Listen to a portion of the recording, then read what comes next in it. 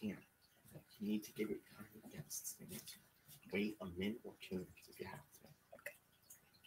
Because then, Say, look, because from people's perspective, it's gonna shh, it's already live, kid.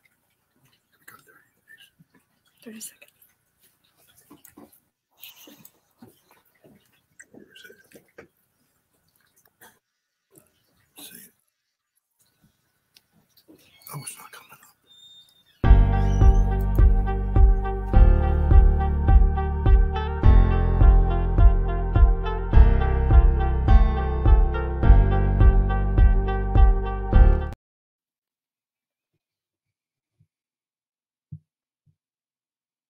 All right, sorry about that. I can't, our countdown is not working today, unfortunately. I'm so sorry about that. No worries here. All right, well, what I'm going to do.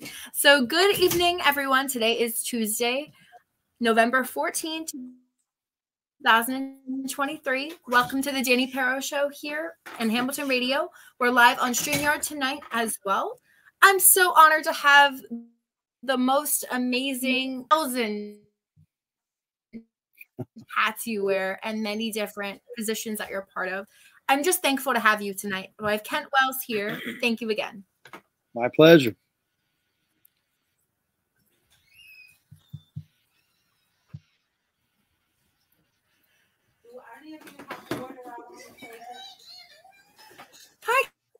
Ken. So I wanted to get started a little bit with the interview tonight. Is before we talk about everything that you've done with everything in the industry as well, I'm so curious as to you being a songwriter and a musician, how you kind of got in the field for that when you were younger, like where that started for you. Well, I started out playing uh, instruments, playing guitar when I was quite young. My dad was a music enthusiast, and so he put guitars and fiddles in our hands very early age. And so I, uh, I started out playing. I didn't have any any interest in writing songs in the beginning, but then over time, I, you know, the creative bug hit me for that as well. You know.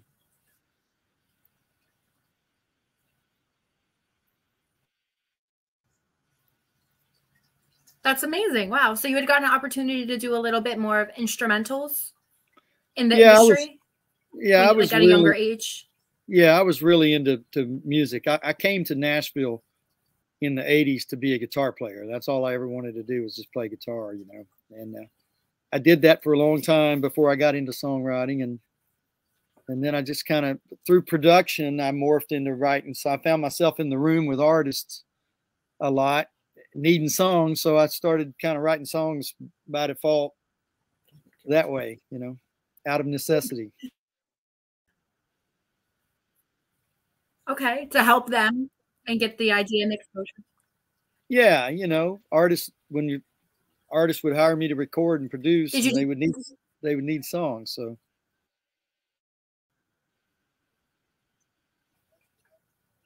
a bit of a delay so i'm having Yeah. I mean, it, you know, exactly that's how it works, especially in the industry. I know. I'm so sorry about the delay. I really apologize, Kent. it's all right no worries Can you hear me? uh-huh yeah i hear you Okay. So I wanted to get started then. So we spoke a little bit about your musician career and you being, you know, songwriter as well. And you're also a songwriter for yourself because you have a lot of music out there and different musicians, you know, incorporated and were a part of it as well. How about you being a producer? How did you get in the swing of that? i always was uh uh intrigued by the recording process and i played I played a lot of different instruments growing up, so I was always fooling around with trying to record them and be like the one man band. You know, I'd play the drums and then I would go and record the bass, and Oh. Uh, so I, I did I did a lot of that. Okay. I did a lot of that as a kid, and so I kind of just instinctively kind of learned about song structure and what the different instruments should be doing. And I was always interested in that. And then in the late 90s, I, I built a home here in Nashville and I built a studio in the basement and uh, started fooling around with it and I started recording some demos for songwriter buddies of mine. And some of them started getting cut on the radio. And so I was starting to kind of get encouraged to think, you know, I could really do this. And then in the early 2000s, I put a studio in uh, in downtown Nashville on Music Row, and and then Dolly came along and hired me to produce a record, and then the rest is I've been doing it ever since.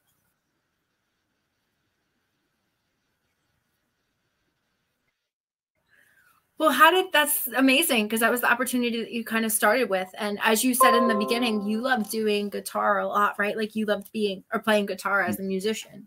Mm-hmm. So do you feel like a lot of that you incorporated in your like your career?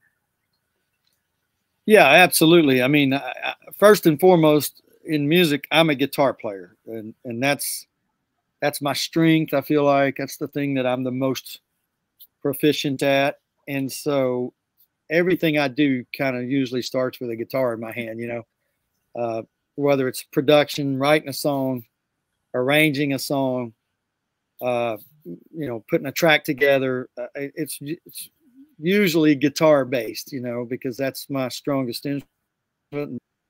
That's how I think music is through the guitar. But, but you know, uh, over the years, I've I've also gotten into a lot of other instruments and and uh, you know nowadays with with uh, the computerized recording, there's a lot of lot of different ways to build a track without it having an instrument in your hand. So it just I just do everything out of necessity, basically. You know, these days, just what do I need?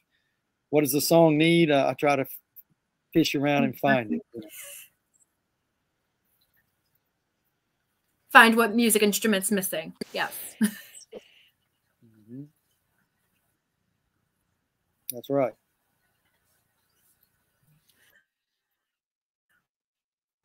Well, I wanted to ask you, as you had said a little bit in the um, beginning of the interview, you said eventually then Dolly came and your career jump started. Like, you know, it mm-hmm. went went off the, the reins basically from that.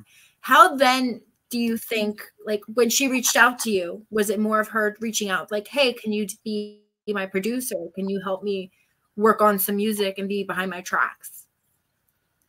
Yeah, I had been uh, I had played guitar for her on several of her albums prior to this at the, through the 90s. And um, I had also gone out on tour playing guitar for her in the 80s and 90s. And so she was working on a bluegrass record back in in 2000, I think it was, or 2001. And she had fired a producer and she had asked me to come over and help with that. And so I did. And we hit it off real good.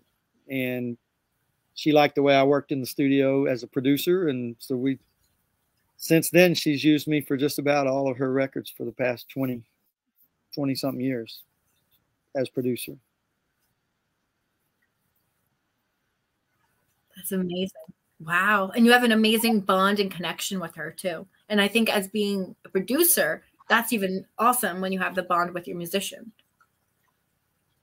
Yeah, it, it's definitely a good uh, kind of a, a, a, good union. You know, we're, we're kind of her yin is my yang. I I do I have strengths, you know, as a musician that she doesn't have, and she's got her own superpowers as an artist, you know, and so I, I'm able. I'm, I'm a good uh, I'm a good right hand man for her. I can help her through just about any type of musical situation, and she appreciates that. And as you probably know, she does all kinds of musical adventures, you know, from Broadway to movies to pop and rock and country. We just did a rock album last year that I'm excited about. Oh, yes. Yeah, we've done we've done a lot of different styles of music over the years, and I think that's why she, she and I work well together because I'm pretty versatile you know.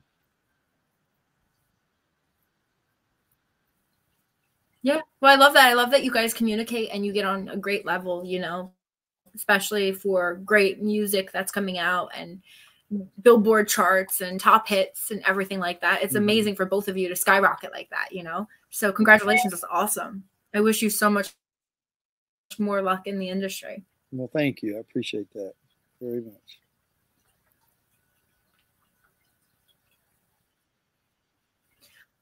Well, Kent, I'm so excited to talk about as well for having you because you're, like I said, you're amazing. You do so much for everyone. And this is the time for you to give back. This is the time for you to officially be interviewed and be like, hey, world, this is what I'm known for if you don't know who I am, you know, versus just Mhm. being a guitarist from behind the Ah, scenes. yeah. Um, I wanted to say I'm excited to give the opportunity excited to give the opportunity to you uh, to talk about this amazing new album that's re- being released this Friday for Miss Dolly Parton. hmm Yeah, the album's called Rockstar. Um, they've been hyping it up pretty big. I've noticed on social media and everything. Uh, it's it's 30 songs. Yes, all It's a over four. It's a, it's a four box set, four album box set. Uh, it's got Wow. an amazing an amazing uh, cast of, of artists that are collaborating with us paul mccartney sting ringo starr pink miley cyrus uh, brandi carlile i mean even steven tyler from aerosmith i mean it's uh, it, it's pretty vast A lot of collaborations. a lot of collaborations and uh, it's really cool it was it was a dream project for me to get to produce because i'm such a fan of all those people you know i grew up i grew up in the 70s playing all that music that i love and uh, and dolly you know uh, when we would uh, ask people do they want to be a part of it? they would jump at the chance because of her and her you know her great reputation and everybody loves dolly. So I really got to do some amazing things and collaborations, and I'm excited for for everybody to hear it and see what they think about it.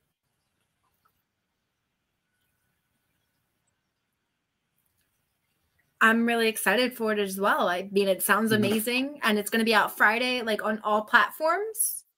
Is it coming out? Oh, you said a box set as well. Yeah, it's vinyl. You know, you can get the vinyl. They've been pre-ordering that already, but uh, it'll be out in CDs in all the stores. Vinyl, of course, it'll be streaming, and uh, Sirius XM is even uh, creating a Dolly Rockstar channel that's going to uh, launch on Wednesday, tomorrow, on Sirius Channel 14. So check that out if Wow. anybody wants a sneak peek at it. But yeah, that's pretty exciting. I've done a lot of albums, but I've never had one where they made it, they created their own Sirius channel for it. So I feel pretty special with that. Hey, it's Dolly. That's the reason. It's, it's Dolly. exactly. Anything for Dolly.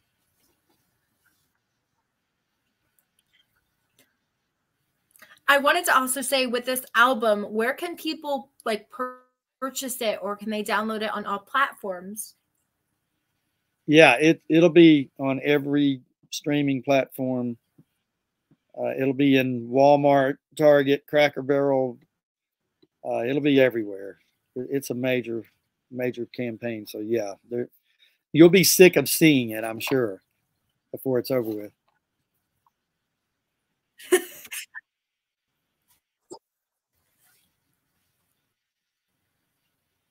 Do you know exactly, Kent, if it's going to be on her website? Is it going to be on her website as well? That I don't know. I'm sure it will. I, I'm I can't confirm that, but I, I'm pretty sure it will. Yeah.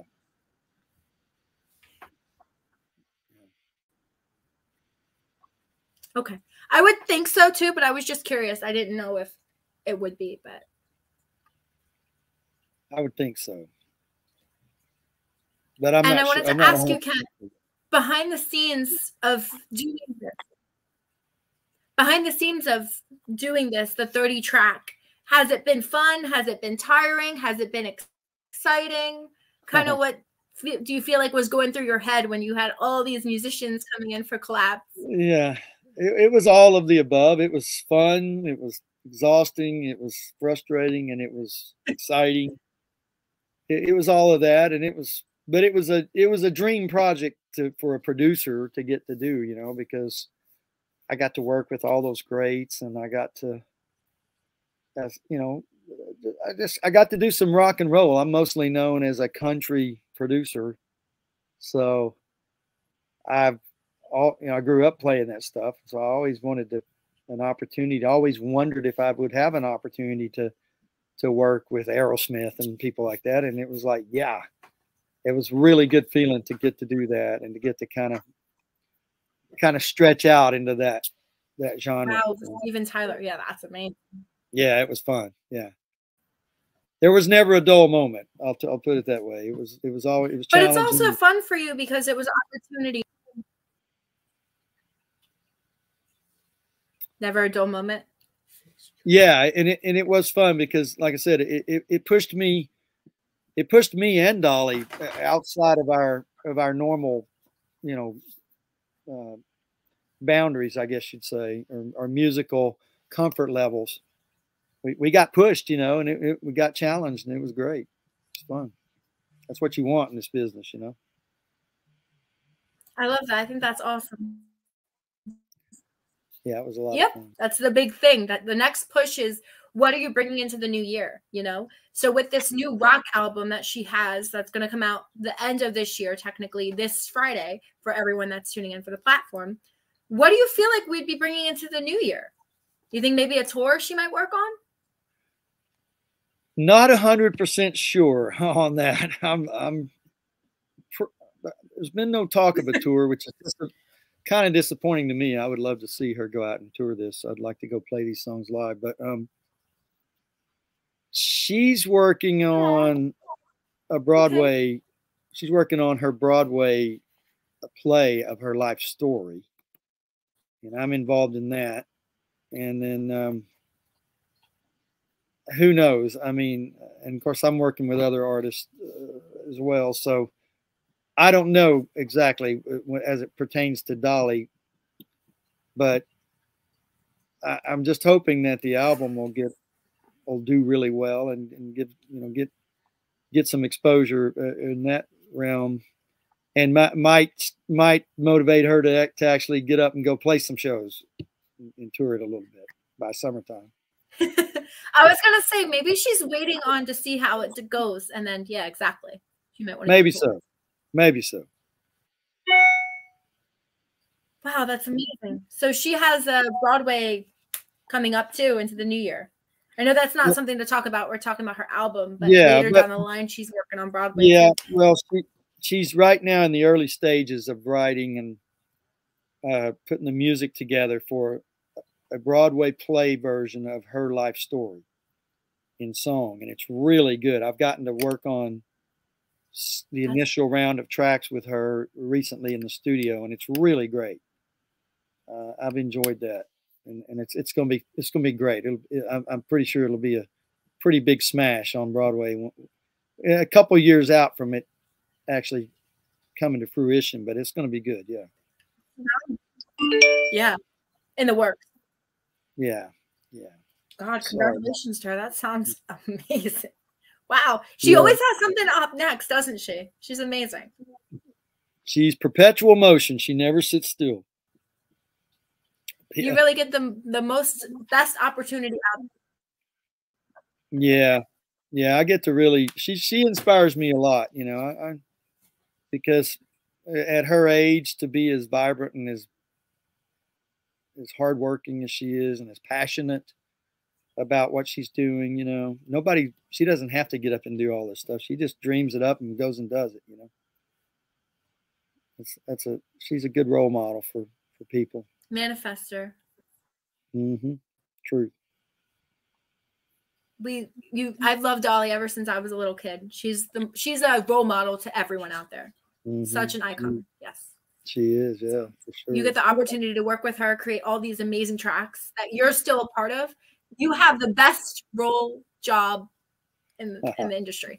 You know that. Yeah, I, that's what I tell everybody. It's a dirty job, but somebody's got to do it. You know.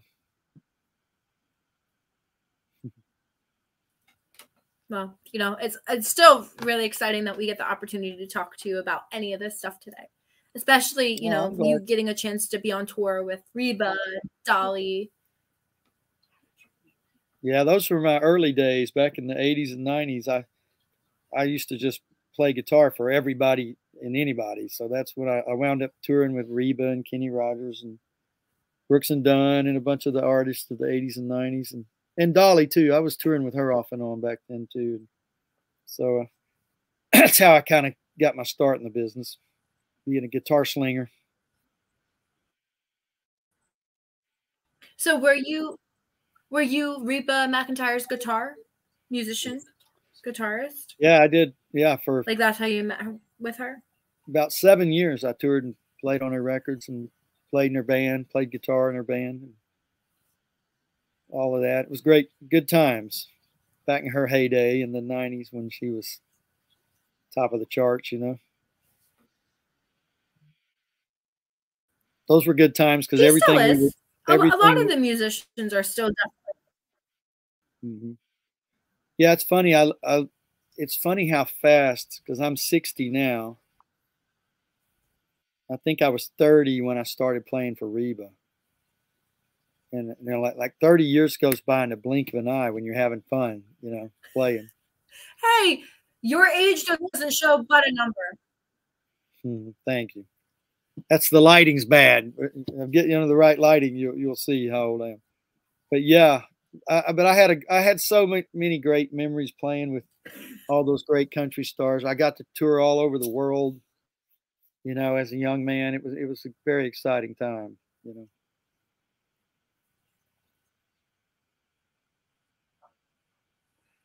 What was very exciting for you in the beginning of your part of your like career, whether you were working with different musicians or different, uh, you know, Yeah. celebrities into the industry? it, it was the most the most exciting part early on was just feeling like well, well it was getting to play with all of these fantastic musicians that we have around here in Nashville and feeling like I belonged, you know, like I was good enough. The feeling of affirmation that hey man, these guys really you know dig what I do and they're hiring me and and and and I'm getting to play with musicians that I grew up listening to that are heroes of mine. You know, that was that was that was all really fun and exciting as a young guy in his 20s, you know, and 30s. That, that was fun.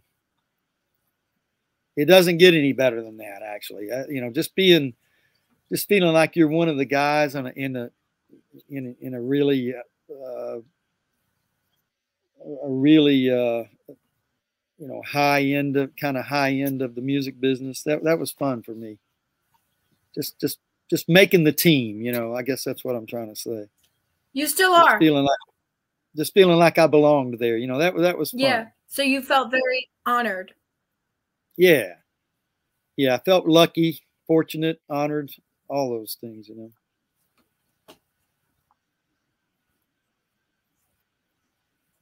I think that's amazing. You are such an amazing person, Kent. Did you know that?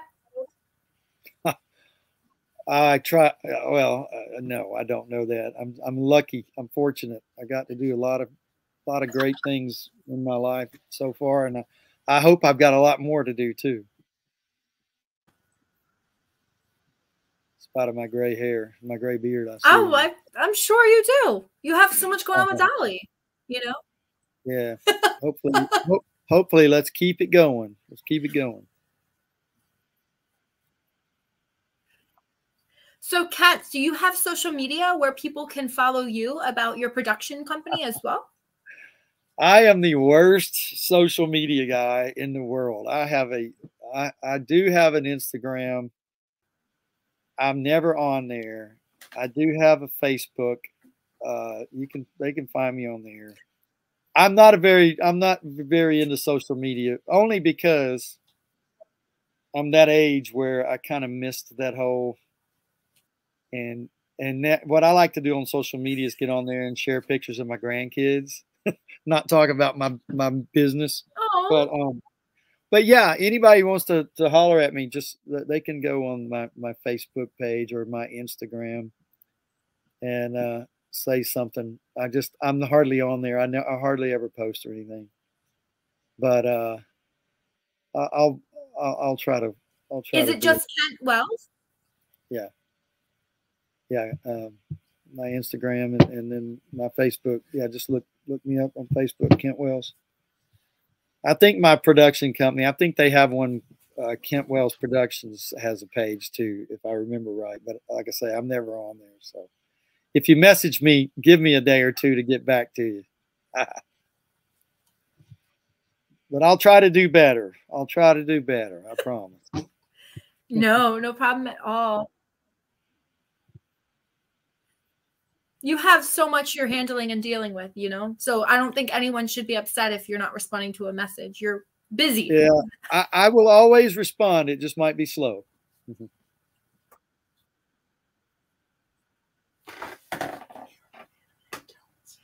You are a man of many talents. Mhm. Well, thank you. Well, I've sure enjoyed talking to you. Good luck with the rest of your show. How long are you on? Well, Kent, I just want to say So normally my show is about an hour, but because I had you, the most incredible person in the world, I wanted to make it short because you have the busiest time of your life and you're probably tired from all your busy day.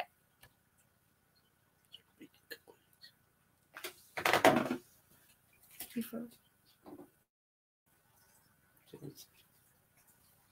Hello? I think he froze. Just say there's some technical difficulties. Hi, everyone. Sorry, there are some technical difficulties coming in. We're just waiting on Ken to get back. We're going to get ready to end the show shortly. Um, thank you all so much for tuning in. Kent, are you there?